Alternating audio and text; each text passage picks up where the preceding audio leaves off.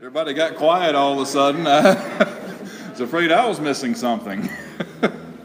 Good morning. And welcome to worship service this morning, uh, whether you're joining us in person or live on Facebook. Uh, we're glad that you're joining us as we're gathered on this Father's Day. So, happy Father's Day to all the dads out there and paternal types. And um, also Juneteenth. Uh, and I, I confess, I kind of knew what Juneteenth was about, but I didn't really know what Juneteenth was about, if you follow me. Uh, so, of course, that's what the internet is for, right? so, after I looked it up, and, and I, I get, I usually look for reputable places because that's the best way to get good information. So, Juneteenth uh, is, of course, short for June 19th. It marks the day when federal troops arrived in Galveston, Texas in 1865 to take control of the state and ensure that all enslaved people be freed. The troops arrived. Uh, the troops' arrival came a full two and a half years after the signing of the Emancipation Proclamation, the end of the Civil War. So uh, that's what this day honors, and it actually only became an official federal holiday last year. So it's, it's uh, when you see people out celebrating or acknowledging it, uh, you're, you're, on the same page as I am now, or you, you may be further along than me. So, anyway, it, it's, a, it's a good day for great progress, and unfortunate that it took two and a half years for it to get there, but it did. So, let's see, we've got a few announcements. Uh, we, one of the things I do want to uh, emphasize too is we currently do have going on, uh, General Assembly is happening right now uh, for, that's our, every two years, our denomination, you know, we talk about we have church. Technically, we don't have a hierarchy, but we have a hierarchy. so we have church, and then we go to presbytery and synod, and so this is General Assembly. And so this is the uh, uh, biannual meeting where kind of decisions are finalized and everything, and you've got, you know, we think we have a lot of committees. No. there are so many committees and there's so much involvement. And the beauty of it is the involvement and the people who are doing all of these things are no different than you. You and I. They are people who are moving forward in the denomination and stepping up as far as leadership. That's who they are. They're people who sit in the pews. They're people who come to church on Sunday. Probably not every Sunday, but they're still there and they're still faithfully practicing their faith. And that's what ultimately it's about. It's, it's about our leadership, which comes from within us. So, anyway, that's enough about General Assembly. We'll probably have a report at the end uh, once it's concluded, just to share with everybody, or a link or something, so everybody can see what's take what has taken place. Um, and then I'll just direct you toward the announcements, the calendar. We do have uh, some fun coming up on the 22nd. So uh, come on out to the park. I think that's at 6 o'clock. And, and I picked up my, my chef on Friday, so she's going to fix something for us too. Casey's in town. so uh, I won't be coming empty handed. I won't just bring my appetite this time. So. Alrighty, so we've got, and we have a lot of different things coming up, uh, and certainly do keep all of these in prayer. And, you know, we've, we've got continued gun violence going on in the world around us, and uh, and the I just was the my attention was drawn to the uh, Episcopal Church uh, that had the shooting in Alabama just a few days ago. Um, so certainly we want to keep them in prayer as well. Any other announcements? y'all are really quiet today. Because it calls it's so nice outside, y'all are like, come on, teacher, we just want to go out and play.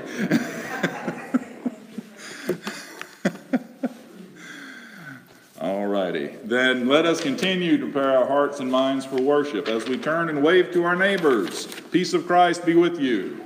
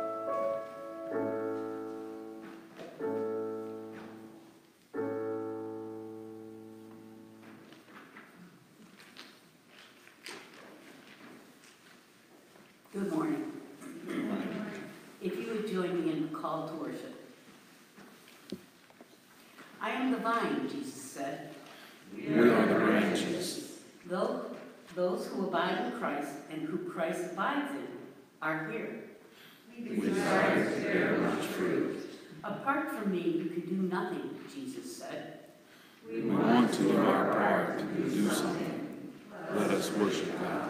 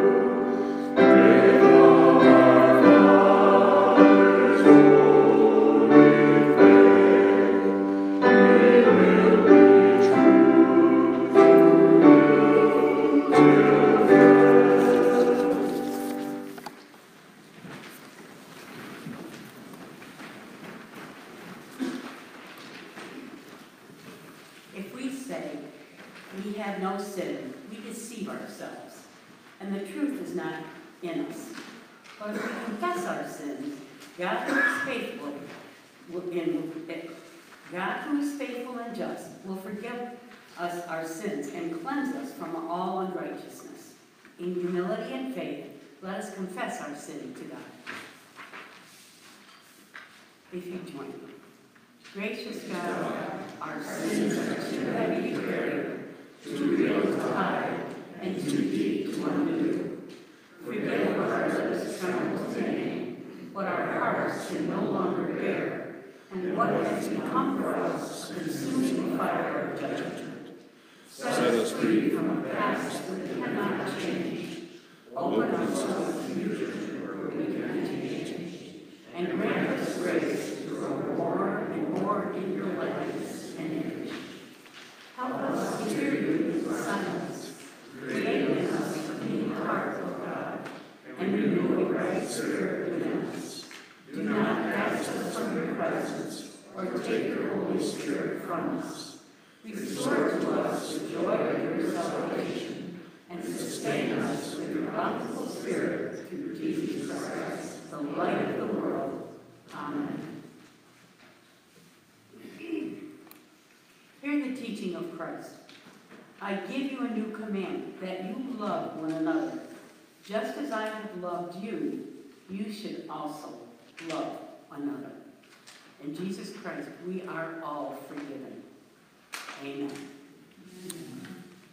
Glory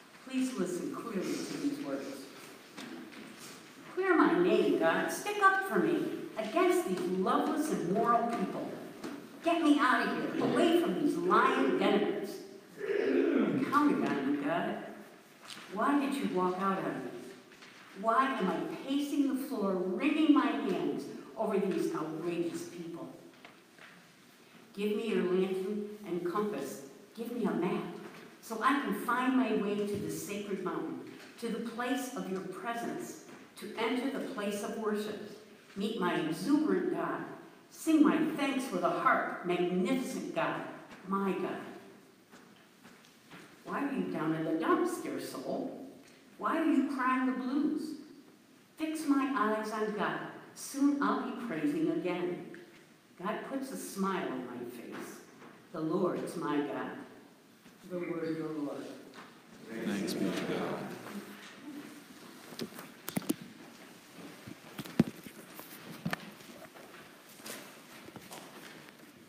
Back in the uh, spring of 2020, we were making plans to celebrate Colin's graduation from high school and Thanksgiving for all that he offered to us during his time in high school as our co-accompanist. Well, if you remember what was going on in 2020, uh, we were not singing. And so that project got laid aside until January of this year when we thought Colin will be home on break. The choir is singing again. We'll sing this anthem in January. Well, as you know, the surge came in January and the choir was not singing, so the third time's the charm. So this morning, Colin, we're still grateful for his gifts as an accompanist, and we are pleased to sing this anthem dedicated to him in Thanksgiving.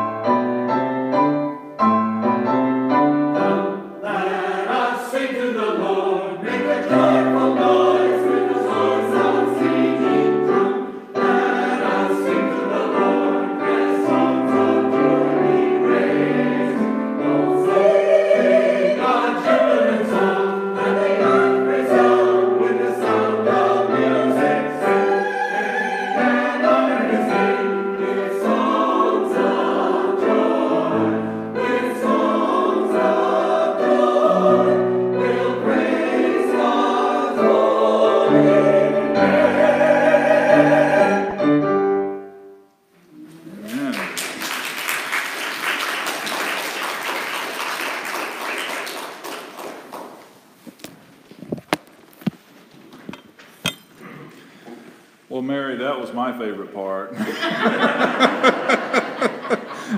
Are we done now?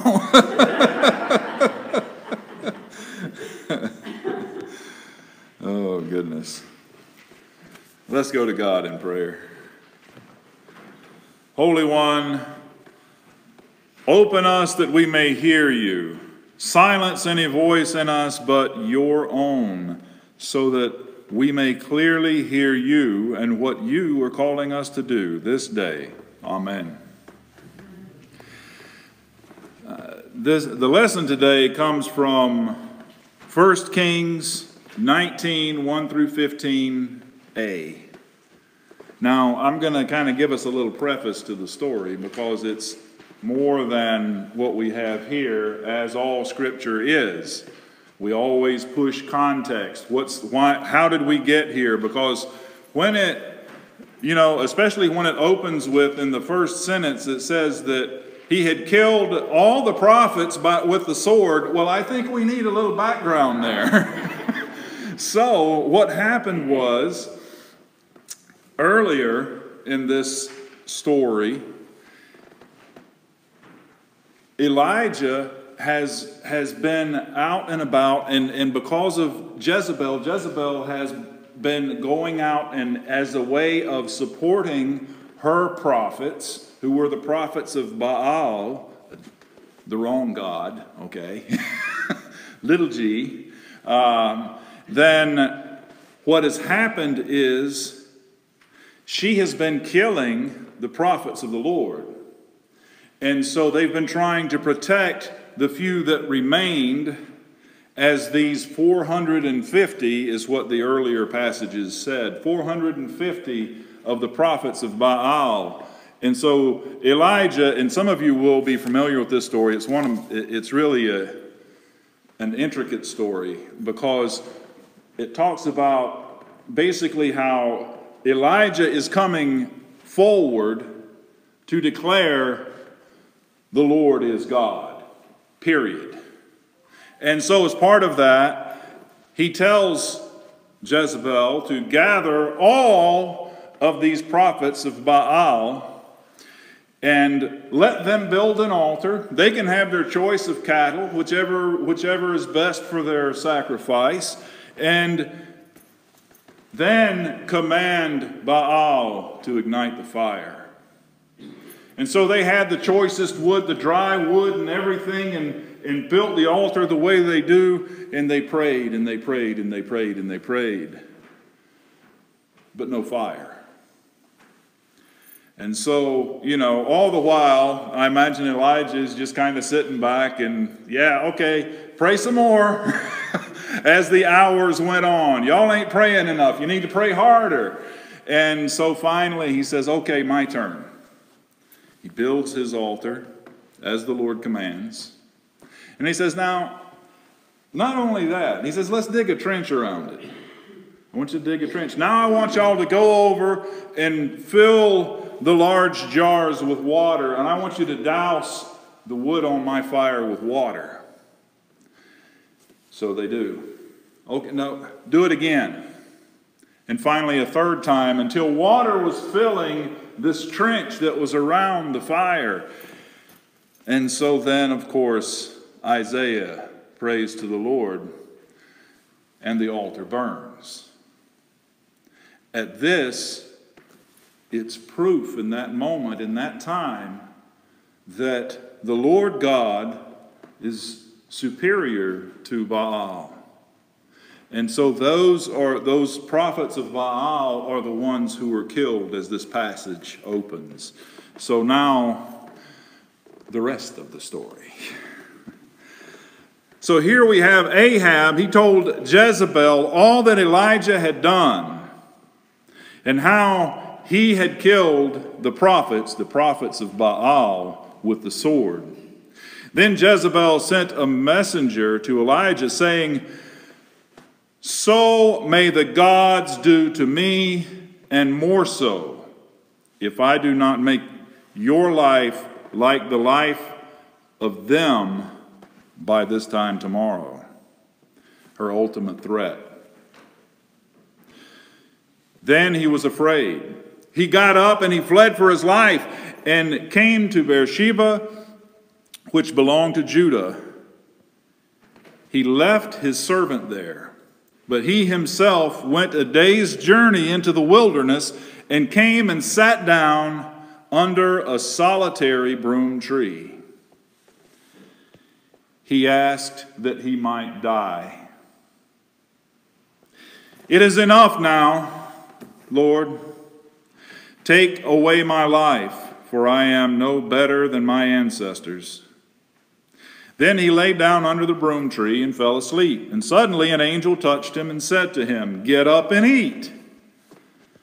Isaiah looked, and there his, by his head was a cake baked on hot stones and a jar of water. So he ate and he drank and he lay down again. The angel of the Lord came a second time, touched him, and said, Get up and eat, otherwise the journey will be too much for you. He got up and he ate and he drank. Then he went in the strength of that food 40 days and 40 nights to Horeb, the mount of God. At that place, he came to a cave and spent the night there. Then the word of the Lord came to Isaiah, saying, to Elijah, excuse me, saying, What are you doing here, Elijah? He answered, I have been very zealous for the Lord, the God of hosts. For the Israelites have forsaken your covenant, thrown down your altars, and killed your prophets by the sword. I alone am left, and they are seeking my life to take it away. He said, Go out and stand on the mountain before the Lord, for the Lord is about to pass by. Now there was a great wind so strong that it split mountains and breaking rocks into pieces before the Lord. But the Lord was not in the wind. And after the wind, an earthquake. But the Lord was not in the earthquake. And after the earthquake, a fire. But the Lord was not in the fire. And after the fire, a sound of sheer silence.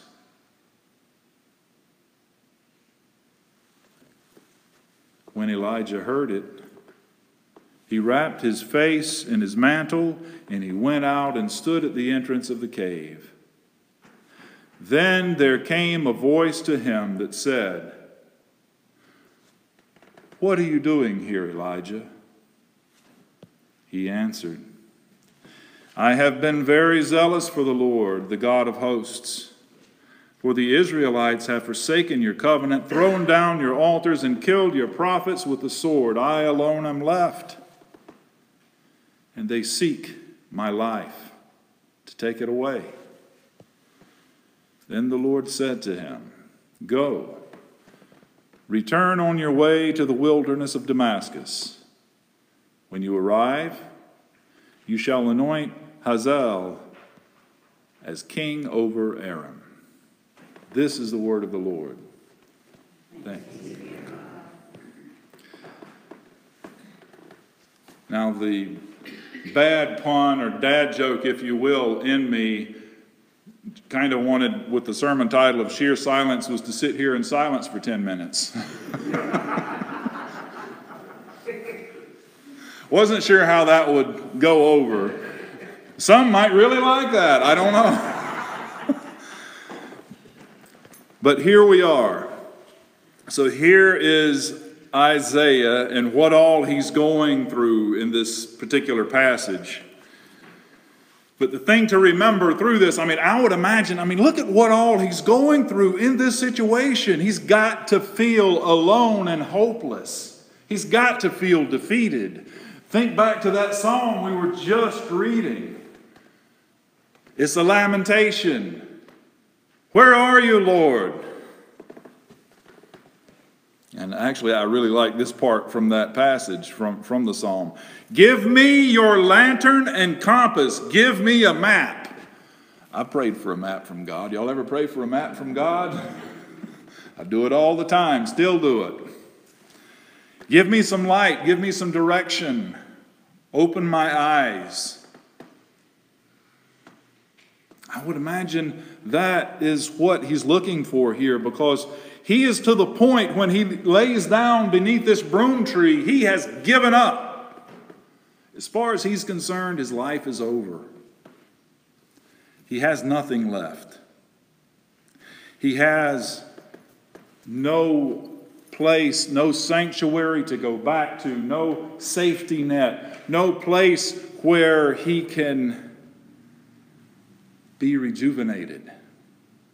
And even when the Lord is telling him, well, go on, well, he's telling him to go on to the wilderness.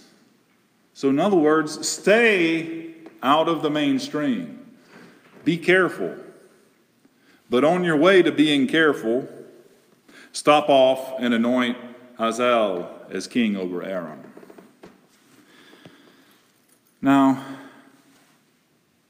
in this text today, when we're looking at it and we start thinking about what it means, is, is, is to remember that God is merciful and powerful enough to conquer evil and to redeem hopelessness. Because that's where Isaiah was under that broom tree. He had given up. But God didn't come to him in a loud, bold way, but in the silence, in the stillness. That's when God is speaking. That's when God is leading. That's when God is revealing God's self to those who are hopeless. As we, you know, it's not what we want, though, is it? See, God comes to us on God's terms, not ours. As we also say, things happen in God's time. Yeah, it's kind of the same thing. We don't like that either, do we? It's uncomfortable. Because we want somebody who's just going to, you know, like, like when you're a kid and you're fixing to touch the hot stove and, and your mom or your dad just say, Stop! That's what we want. We want God to do that. We want God to interrupt our lives and redirect us so that we don't have to go through that suffering, that pain. But that's not who God is in all of this. God's with us there in our pain. God is with us when we get to that point of hopelessness. God remains with us. And sometimes it's only in that hopelessness that we get really still, that we listen, that we realize we're not allowing ourselves to hear God because we needed another distraction. We needed another thing, another. And sometimes that's an important part of healing, but then we also get to that point of healing some, and then it's a matter of, but now I need to listen for God. When I, I was going through a difficult time, and I may have alluded to it in the past, but when I was going through a difficult time for me, uh, I spent a lot of time at the beach that particular summer. Um, well, God worked it out for me. I told God to put me somewhere where I could really listen, where I could really uh, restart, where I could get away and rediscover who I am. And when I did, I could hear God again. I reconnected. I recognized the path that God was putting before me and moved forward. So I wonder in this, you know, I, I can kind of feel what Isaiah is going through. You know, he did some bold stuff in these few chapters in, in, uh, in 1 Kings. He did some extremely bold stuff. And so I kind of wonder Did he overreach? You know, maybe that's what he's feeling. Maybe that's why he feels hopeless. He feels like he overreached. And, and when we do that, oftentimes that's not what we're supposed to do. So he might have felt distanced from God in that time. So here, God is reassuring Isaiah no, no, no. You didn't overreach. You were zealous for the Lord. You did the difficult thing that seems, well, let's be honest, it seems a little crazy. One person going up against the 450 plus the government that's in cahoots with the worshipers of Baal. He had everything stacked against him. The only thing on his side was his faith in God. And his faith in God didn't fail him. And so when we wonder sometimes and we, we, we get worried about what it means when uh, religion starts strongly influencing government, that's what it looks like. Because when this one was in charge, the worshippers of Baal, they were trying to extinguish all worshippers of the Lord. That's what they do. They don't want to live in harmony with one another. One seeks to extinguish the other. So it took a bold move from Isaiah to step up, to expose himself, and in doing so, take care of God's own people. Because he didn't do it for himself, he was doing it for God's chosen people. Now, we may wonder so, uh, in our own lives, how does this fit in? How does this work for us? How does this idea of sheer silence fit into our busy week? That's the problem, isn't it? There's no exact equation for that. There's no exact, well, I've got to sit and listen for God so God can give me that map and lantern and compass. We have to be still and quiet enough, long enough, so that we can experience what God is communicating to us and be transformed by it. That's the hard part. Because of devices like two of them that are sitting right here on this pulpit, it's too easy to distract ourselves. I can't tell you how many times I'm like, oh, I, I need to look this thing up. And I go on the internet and I start flipping through, and it's like, oh, look at that. Oh, look at that. I, and before long, I can't remember what I was looking for in the first place. So sometimes we just have to take these things, set them aside, turn off the TV or the radio, and allow the silence. To allow the silence can be uncomfortable.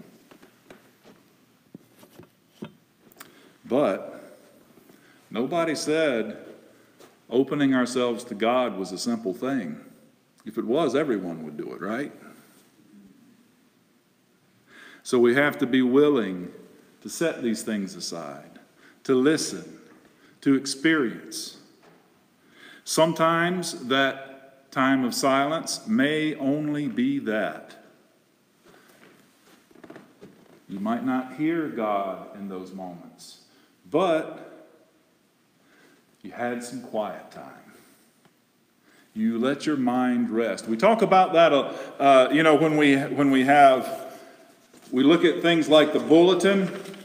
We could probably squeeze all of this information on about three or four pages but there would be no white space, no place for your eyes to rest. Well, think about what we're doing to our minds. Treat your mind that way. You know, don't, don't cram it so full of everything that there's no white space to just kind of sit there and be for a moment. There was a, a worship service, I, I won't name the church, but it was one of them in Atlanta that I would attend while I was in seminary. And from the moment the service started, it felt like somebody clicked a stopwatch. As soon as the choir was done with their thing, the children were already here with the thing. And so as soon as they hit their last note, and uh, good morning, boys and girls, we're here this morning. And, and they did the, ch- the children's thing. And then as soon as the children's thing, then the next hymn. And then there was never a quiet moment. You were bombarded. I was tired by the end of the service, and I was in the congregation. it was exhausting. Similarly, when I, you know, I love going places like Disney, but there's so many. Oh, I, I thought about it uh, when we first started going. I thought about it one time. I was like, you know, it doesn't matter. I, I, I started testing myself. I said, you know, I wonder if there's anywhere I can go in that park where there isn't music playing. The answer is no. I looked everywhere. Every, everywhere that I walked to, they had music, and, and it was cheerful music. It was meant to keep you in a good mood. It may be to keep you distracted from anything that could be weighing you down. I understand why they do it. But as someone who appreciates the silence, I missed it. So, friends, I encourage you this week. Just take some time. This is, this is as much as anything about our own personal journeys in faith, as much as anything about how we live our own lives, and we want to improve our relationship with God. So, from this, give yourself, you know, out of this week, maybe one evening of setting technology aside, turn off the TV, and just be, just exist. Just revel in the goodness that is God. Pray. Open yourselves up. Maybe ask God for a flashlight, a compass, and a map. Amen? And I hope you find it.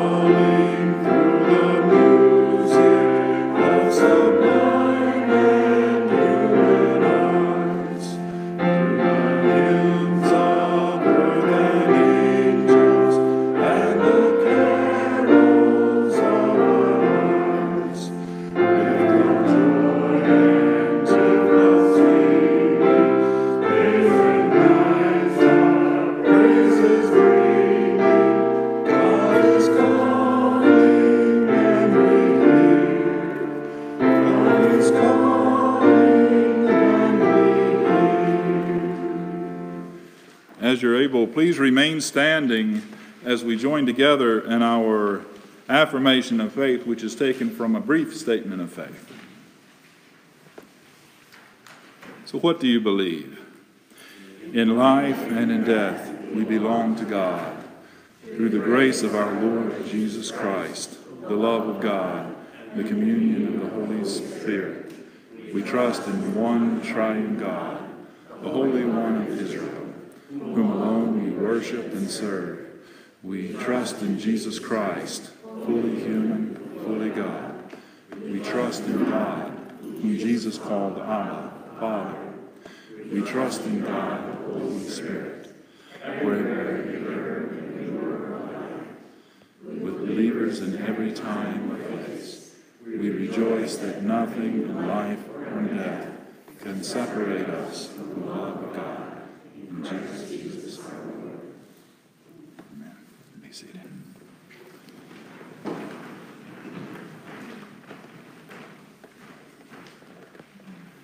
Now, I would ask if we have any additional prayers, prayer requests, and we've got Larry with the microphone.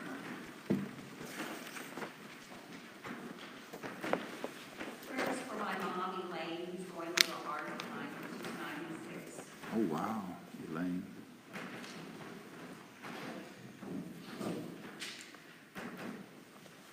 Any others?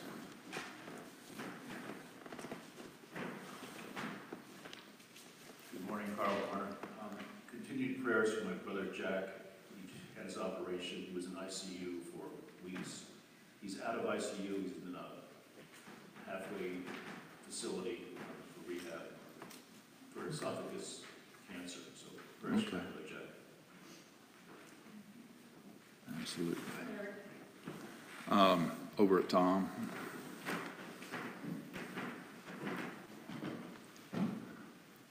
Uh, I'd like prayers for a good friend of mine, uh, Tim Benson. He's a member of our bed delivery team with Sleep in Heavenly Peace. Friday night, he was uh, taken to the intensive care unit uh, with COVID.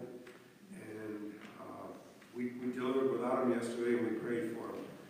And I just got a text this morning, yes, I sometimes read my texts, um, that he's feeling much better, but we would appreciate uh, prayers for Tim.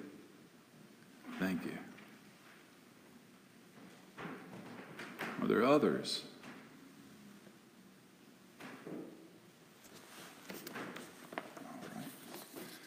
Then let us go to God in prayer. Gracious God, you are bigger than big, larger than large, and more awesome than awesome can describe. We gather to give you thanks for your presence in our lives and for your Son, Jesus Christ, and for the movement of your Holy Spirit among us. So, Lord, you hear these prayers that we lift today.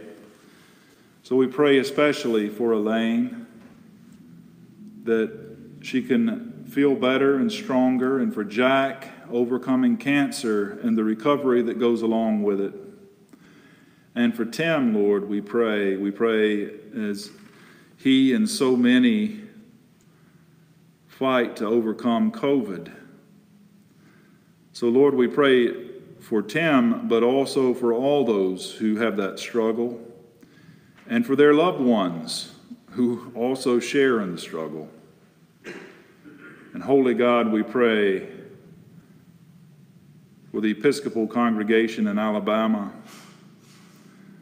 that you can bring them comfort, that you might bring them hope that when they gather in worship, that all that they do is, is in your name, and know that everything that we do is as one church, one body, and as such, we lift them for you. So, Holy One, we pray also for all victims of gun violence and their loved ones. We continue to lift, praying for peace in the Ukraine, healing for Pam, And Lord, we pray for all our friends, family, and loved ones who are in need. We pray for victims of all disasters, whether natural or man made. And we lift to you first responders, all those in our armed forces. Lord, all of those who seek to bring your peace, all of those who rush to preserve life where life is being threatened. We pray. We pray, Lord, that your peace may be felt by all. So now, Lord, O great God, we are grateful for you, for your love, for your Holy Spirit, and for your Son, Jesus Christ, who taught us to pray, saying, Our Father, who art in heaven, hallowed be thy name. Thy kingdom come, thy will be done, on earth as it is in heaven. Give us this day our daily bread, and forgive us our debts, as we forgive our debtors. Lead us not into temptation, but deliver us from evil. Thine is the kingdom, and the power, and the glory forever. Amen. Now I invite Carolyn forward.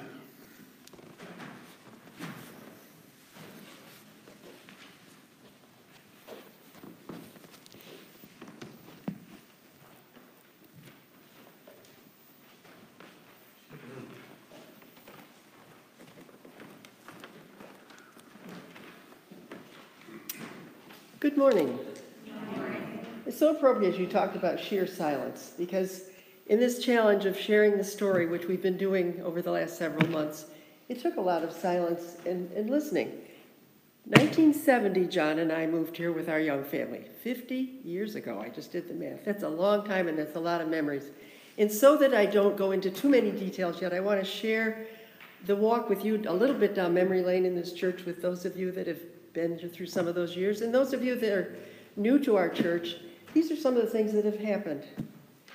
Our family moved to Marcellus in the fall of 1970 when my husband John accepted a teaching and a football coaching position here. I'd previously taught elementary school in both Nyack, New York and Cortland, New York, places some of you have been. But now I was a full-time mom to two-year-old Robin, a homemaker, a community volunteer, and expecting our daughter Jennifer in June. Since I was raised in the Methodist tradition and John was raised in the Presbyterian, we explored both options here. We soon decided that Marcellus First Presbyterian was the place where we wanted to raise our young family. And two and a half years later, our son John was welcomed into the family. Joining this church was a decision that we never regretted. Over the years, John and I have taught Sunday school, been a youth advisor, sung in the choir, played piano for our youth choir that used to sit in that loft, gone camping with other church families, been on and chaired numerous committees, served on our session, both of us, baked casseroles, and enjoyed delicious desserts, too numerous to mention, for all church dinners and events that we've joined over the many years.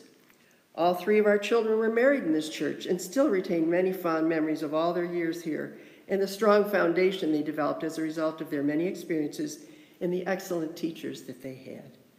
Personally, our church has afforded me with many opportunities to carry out the word of Jesus Christ through the many activities where I could reach out to others, just as our t-shirt says we did our faith out into the world. And to serve things like the Samaritan Center, Habitat for Humanity, those delicious dinners, Marcellus Child Care Center Board of Directors, Marcellus Food Pantry, and goes the list goes on. Many of our lifelong friends and special bonds have been formed here. And that's been one of the most, I think, significant parts is the friendships that we form. Through this church, we both continue to be challenged to practice our faith and to grow and learn. Being a member of the choir for the last 20 plus years continues to bring me great joy each week, both at weekly practice, and Alan is a wonderful director to have, and on Sunday mornings. Without a doubt, being a member of this church has been and continues to be one of the most important aspects of my life and for our whole family. Thank you.